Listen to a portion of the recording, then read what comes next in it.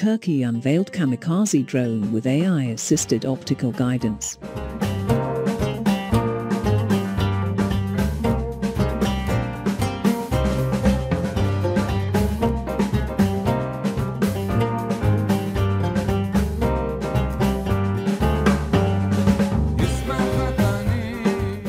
Wing Mobile Munitions Kemankes Kagem, developed by Baykar the manufacturer of Bayraktar TB2 drones, was shown for the first time at the TeknoFest 2023 exhibition.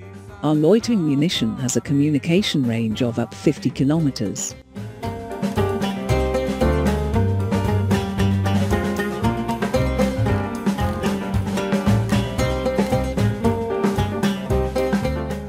Developed by Baykar for use against strategic targets, Kagem is winged loitering munitions kamikaze drones.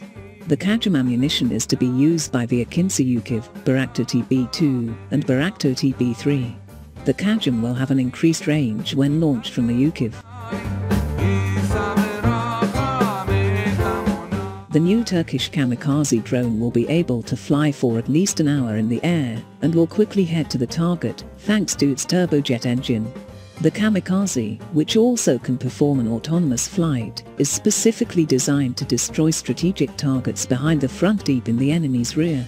Kagem, equipped with optical guidance assisted by artificial intelligence, can operate up to an altitude of 18,000 feet. The normal cruise speed of the munition, which can dive towards its target at a maximum speed of Mach 0.7 with a length of 1.73 meters and a wingspan of 1.25 meters, Kagem can carry a payload of 6 kilograms. It is equipped with a camera system with 2-axis stabilization, 36x zoom, and a laser rangefinder with a range of 2.8 kilometers. Baykar is also believed to be working on heavier, longer-range ammunition.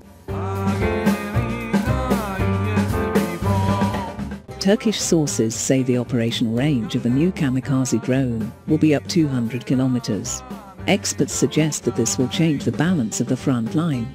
However, not only operational range will be the reason for this, but also the ability to fly autonomously.